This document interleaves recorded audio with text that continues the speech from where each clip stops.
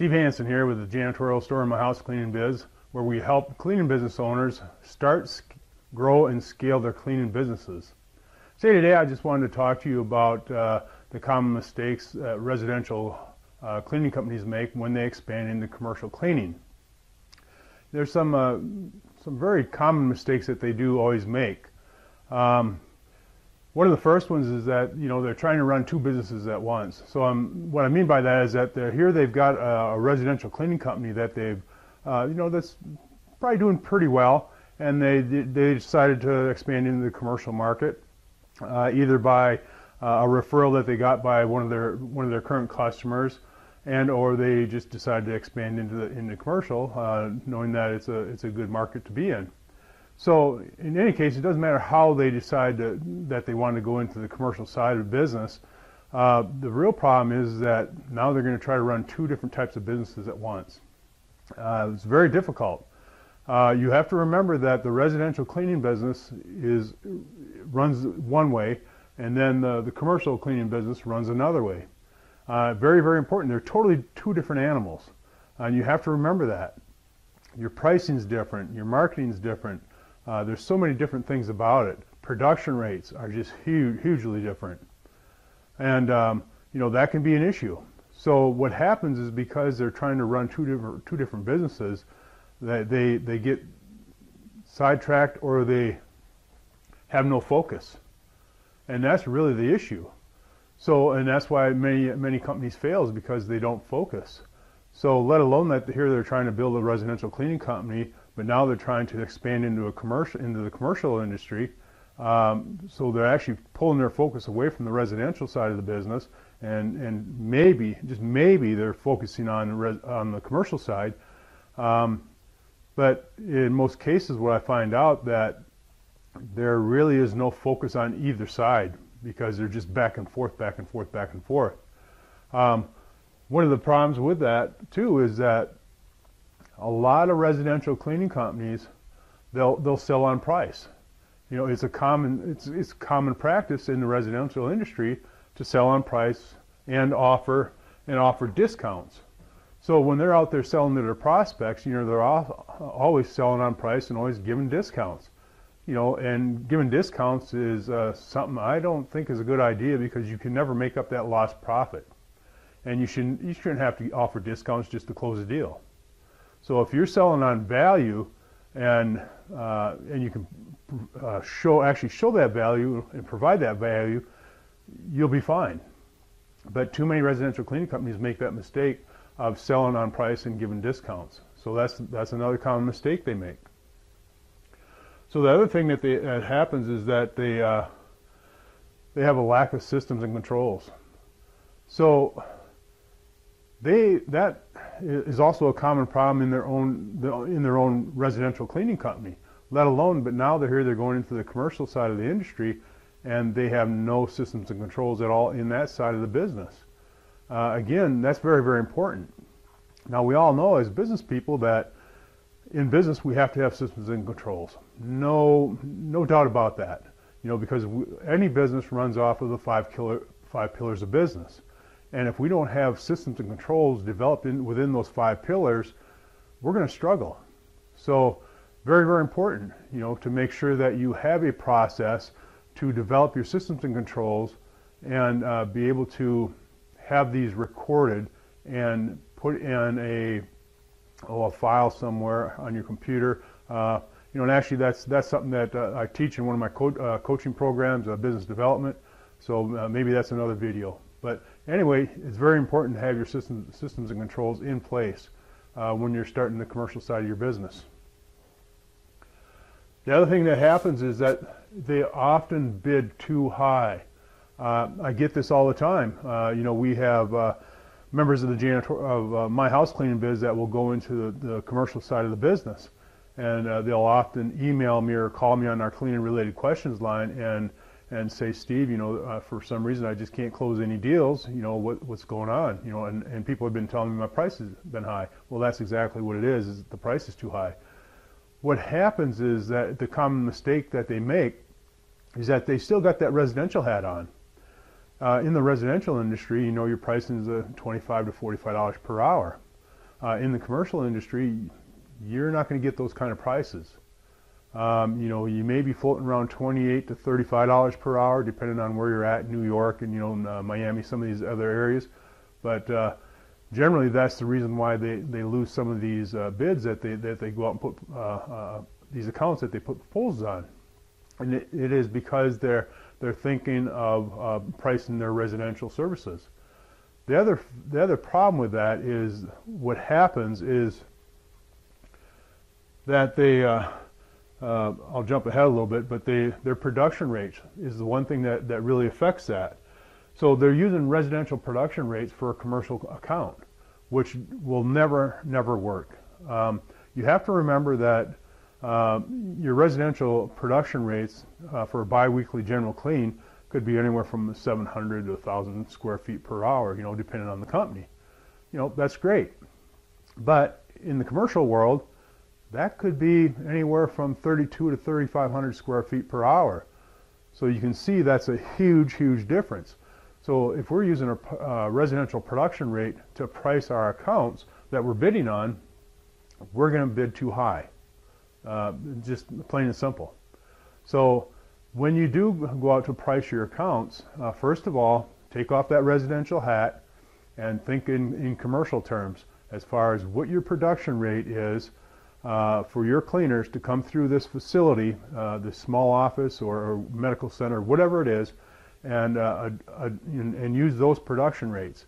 At least that will give you a time to clean, and then from there you can do the, use a formula that will give you uh, your your uh, your price point. But then you know that's all fine and good that you got a price point, but you still have to make sure that you are going to make a profit on that price point. And that's where on the janitorial store and my house cleaning biz we have bidding calculators just for that uh, you know, it's important that we that we always make a profit on every every job and every account that we that we take on. So always keep that in mind. Uh, so covered the production rates. Now the other thing is that they, they got a lack of training. Now just because you have a residential cleaner that's cleaning homes and apartments and things like that there, uh, doesn't mean that you're going to be able to move them right into a commercial setting and uh, they'll be able to clean uh, within the time allow, allowed for that for that uh, that account. So again, you have to start over. You have to retrain people. Um, one of the other common mistakes that I have is that they uh, often put the wrong cleaner in the commercial account. Uh, residential cleaners will generally just use their residential cleaning uh, uh, team and they'll send them over to do a commercial location. Well, you have to remember their mindset is uh, a slower pace. Uh, and it's generally because if they're doing a general clean in a home, they're doing a little bit more detailed work. That's why the production rates are so low. You cannot use that same rate when you go into a commercial cleaning business or commercial cleaning account. Um, like I say, it'll just take you way too long. Uh, you'll lose money and or you'll overprice the account. So Try not to uh, send a residential cleaner into, into a commercial account unless they've been properly trained on cleaning a commercial account. And then again, they have to remember that they're in a, that they're in a commercial account. They have to be wearing a commercial hat. They got to take off the residential hat and not be thinking about cleaning a residential home as you're working through an office space or a medical center. Uh, it just won't work. So keep that in mind. Uh, make sure you have the, the, the right cleaner uh, for the right job. Now the other thing is too is uh, I've been saying this all along is just re remove the residential hat, uh, and that's probably the biggest uh, hassle or the hurdle I should say uh, people have is that they often forget to take off the residential hat when they're when they're walking through a commercial building or talking to somebody in a commercial space uh, about providing them a proposal to clean. Um, so uh, you have to you, you have to do that uh, because like I said earlier, you know, we're talking two totally different businesses. Um, you know, the things that we talk about on the commercial side are totally different than what we talk about on the residential side. So uh, when you're in front of a prospect, make sure you have that right hat on and uh, and you're talking the, talking the, the language that you should be talking. So that's another tip.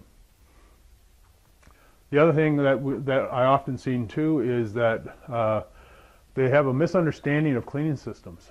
So um, you know, uh, I, I'll, generally ask them, you know, what kind of system are they using to clean that uh, the commercial facility, and uh, they'll just uh, they'll either just say, well, I send in a team of two people, uh, you know, which fine, that's fine, but now are they do they have that residential hat on, saying that I, I send in a team of two people, or are they actually doing actual team cleaning? Um, where they these two people have actually been trained as specialists in multiple areas to where they can actually work through that facility as a team cleaning uh, system and uh, really amp up their production rates. Uh, often that's not the case. The, uh, I've talked to many uh, residential cleaning companies, and when I ask them to give me a definition of their team cleaning, uh, it's just not on base. So make sure you understand exactly what, what the, the cleaning systems are. And in fact, I'll jump down here a little bit and I'll talk a little bit about that because you know your cleaning systems we're talking about uh, zone cleaning, we're talking about team cleaning, we're talking about skip cleaning, we're talking about collaborative cleaning. There's many different systems of cleaning that you can use as you're moving through a, uh, a commercial facility. Um, so you got to keep that in mind. Those are the adjustments you have to make. Um, but anyway, that that's one of the that's one of the things uh, of the common mistakes that they make. Um, now let me switch a little bit and let me talk about when you do get started to, and you're ready to go into a commercial, uh, the uh, commercial industry. So the first thing you want to do is just go go for small accounts. Um, you got to get your feet wet, dip your toe in the water. You got to see how things how things work and so on and so forth. So do it with smaller buildings. You do, you definitely don't want to go in and uh, start pricing you know 15,000, 30, 40, 50,000 square foot facilities. Not a good idea. Uh, you don't want those to be your first account uh, because you will struggle and chances are most likely that you've, you've underbid it anyway. So keep your to small accounts. Uh, typically, uh, general, uh, you know, professional office buildings are usually the best ones to start with. Um, you know, some people will go ahead and they'll do hair salons and uh, you know other retail space, but you have to remember too, though, you, you have to know the sectors uh, that you're going to service. And what I mean by sectors is that you got you got uh, professional office, you got educational, you got medical, you got industrial, and then you got retail. And I'll tell you, retail is not where you want to go. So you want to avoid that because the prices have just plummeted. Uh, you want to stay away from retail. Uh, we have a, a very large uh, uh, a member of the janitorial store that's a very large company and uh, in fact, they're they're actually moving out of that sector because of that reason. So, um, so start off small and you'll be fine. Uh, the other thing is, uh, you know, build your cleaning systems. Again, we talked about the zone, uh, the team cleaning, and skip cleaning, collaborative cleaning. Build those systems because you you have to have those in place in order to know when you do a walkthrough of a commercial space what type of system you're going to use to clean that facility. Now you may use a combination of both. It's very common for people to use both zone cleaning and team cleaning in a facility. So keep that in mind. But you have to be able to identify which system you're going to use. And uh, we do have uh, we have videos on the janitorial store that uh, show you these different cleaning systems and uh, how you'd set them up with with uh, with uh, team team members. So uh, and then again, you know, don't have a residential cleaner do commercial cleaning. Make sure that that residential cleaner has been trained to do commercial cleaning uh, because otherwise your production rates uh, will be low. They're not going to hit the mark. And what I mean by the mark, the mark is the, the time that you've given and budgeted for to get that account cleaned. So always keep that in mind. Then uh, whenever possible, try to sell day cleaning. So when you're out there selling selling your services uh, for a commercial cleaning, you know, for these accounts, try to sell day cleaning. Uh, a lot of companies uh, provide that service, and, and, it's a great way for you to, uh, you know, incorporate that into your residential cleaning uh, business. Because again, you're cleaning uh, during the day, daytime hours, so why not try to keep the commercial side there too?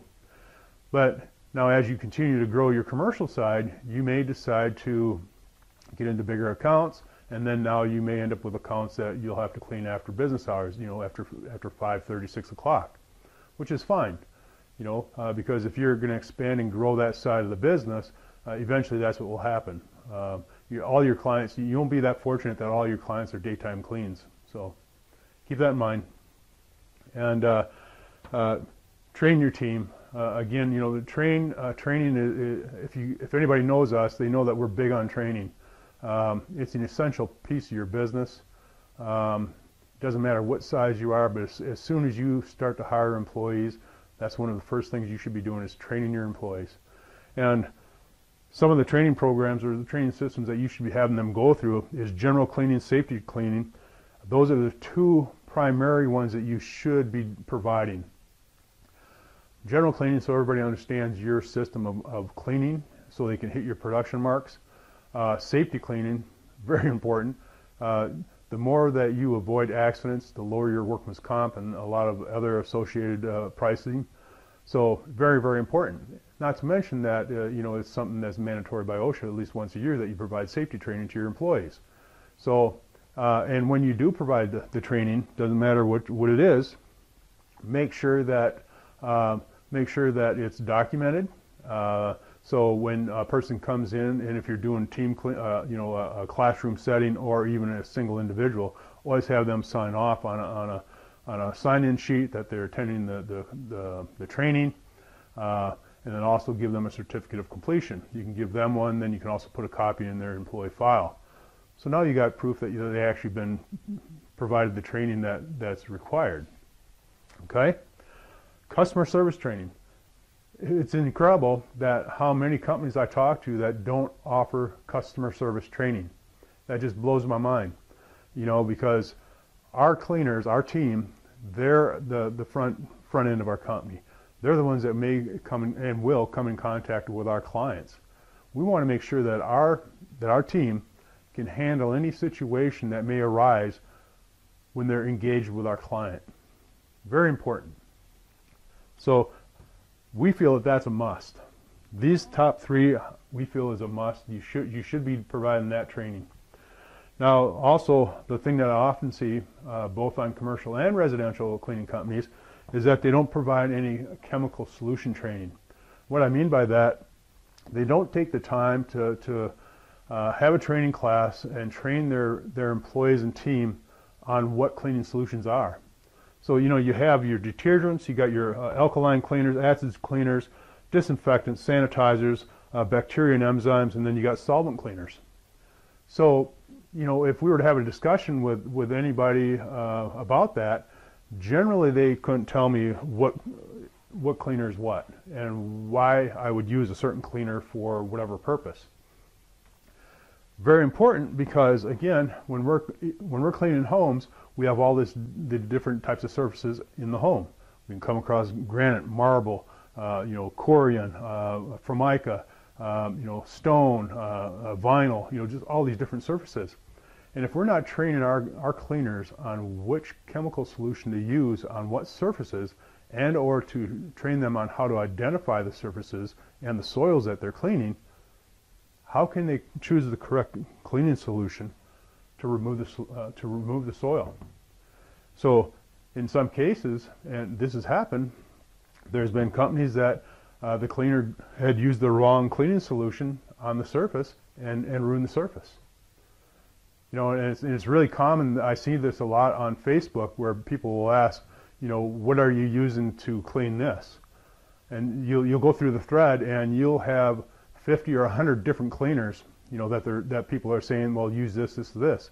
You know, well, you know, it's and it's all personal preference, but I often see an awful lot of those products that shouldn't be used on that surface. So, you know, hopefully they're not taking that advice because they'll be replacing, they'll be replacing the, the surface. But anyway, very, very important that, that we, we train our people on our cleaning solutions. Now, some additional training that you may want to have if you continue to go into the commercial arena is especially when whenever we are in contact with body fluids. So, uh, dental office uh, and uh, um, you know, any medical uh, centers or clinics that you may be doing, you have to offer your people bloodborne pathogen training. That's a must. Uh, you also have to uh, offer them the hepatitis B shots, uh, and that's on your dime. You pay for it. Uh, that is a series of three shots over a period of time, and, uh, and the employer pays for that. So uh, keep that in mind. But if you're going to get into that arena, you you definitely got to have that training. Uh, carpet and upholstery cleaning is another great add-on service that uh, a lot of residential uh, companies don't even offer it. Uh, which really surprises me because you know it's just a great add-on service that that you that you should because you're leaving a lot of money on the table.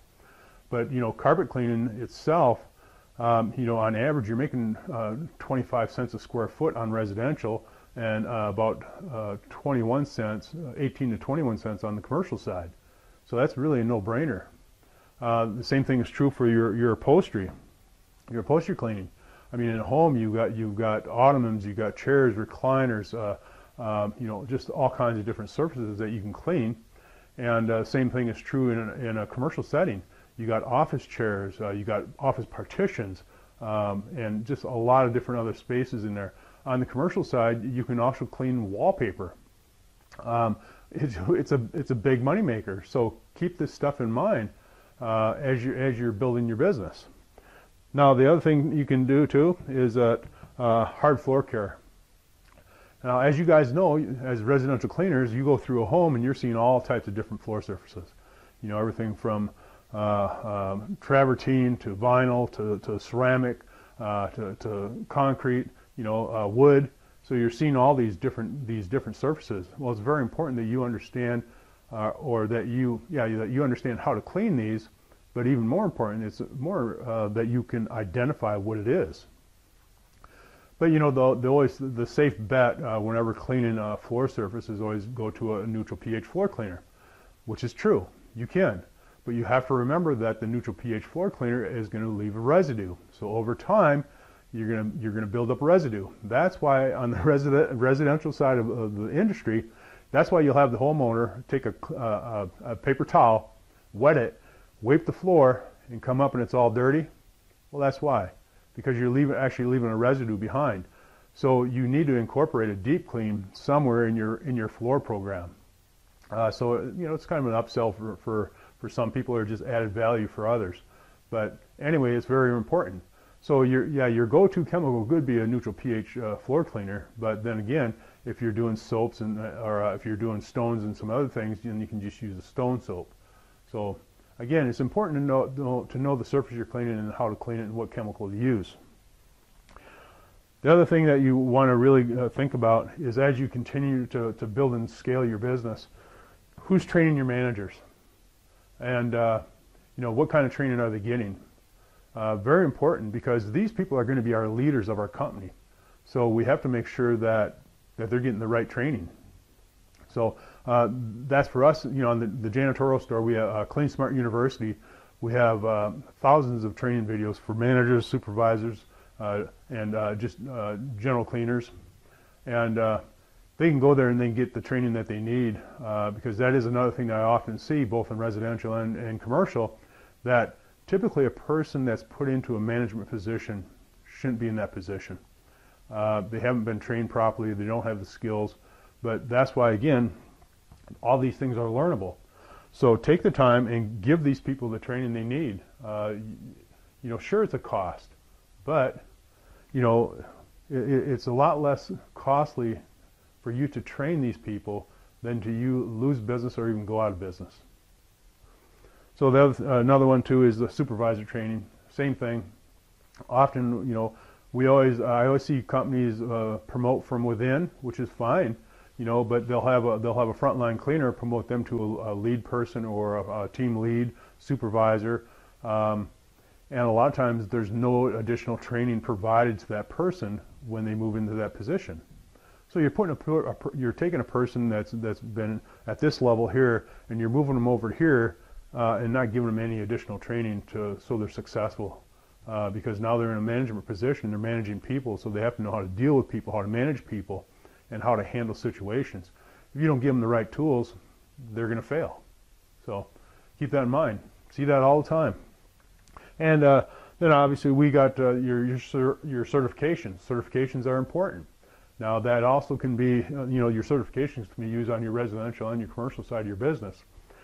Uh, the certifications that we have are the CR, uh, CMI. Uh, we actually developed multiple training programs and had them certified by CMI. So in the janitorial store and my house cleaning biz, people are able to, to go there and uh, get those certifications for their cleaners, um, which is very helpful, you know, because again, now we know that these that our, our cleaners are actually they, they actually know and retain what they've been trained. So it's very important. So uh, that's what you can do, uh, you know, to avoid these common mistakes uh, and to get started in the uh, commercial cleaning industry. You know, the commercial side, uh, I've done both. I've done residential, done uh, done commercial, and in fact, every time I started my cleaning company, I've always done residential first, like most people, because it's a it's a revenue generator right away, and so on and so forth. But you know, and it works out well. But um, you know, so I know that that industry, uh, uh, but I know the commercial side of the industry much better. And uh, and the reason some people always ask me, well, if you had a choice, which one would you which one would you select? And I always have to say commercial. And the reason being is because when you talk about the magic number of a million dollar business, uh, you think about uh, residential and how many clients do you need to generate a million dollar uh, million dollars in revenue. Well, that's uh, you know what 364 um, biweekly clients at about 100 what 15 120 dollars per per service. Boy, you know that's that's a lot of personalities to deal with. Uh, on the commercial side, that could be anywhere from 70 accounts to maybe 120 accounts. Um, so you can see where do I want to deal with 300 and some odd different personalities that are, uh, you know, personalities, or do I want to deal with the others? So that's that's why I, I prefer the commercial side of things, but also I can make a heck of a lot more money. So uh, you know it's it's pretty common for you know the residential side, the top one percent. Um, you know they're they're doing probably three to five million dollars. The top one percent of the commercial side of the business uh, of the industry is doing hundreds of millions.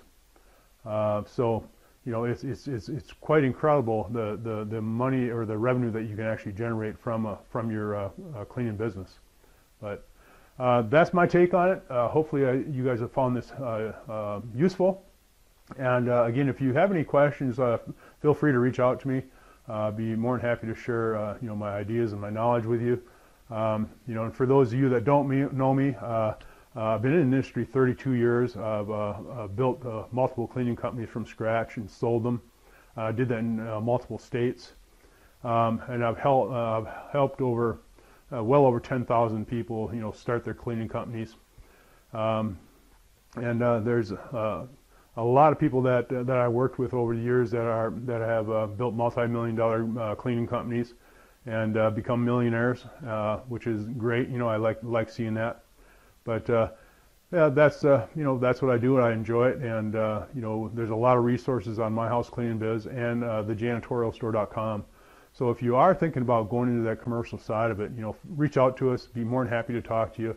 Uh, you know, I often offer a you know 30 minute uh, free uh, coaching call, so I can help you at least get you pointed in the right direction uh, as to where you are now. So, um, thanks again, and uh, I appreciate it.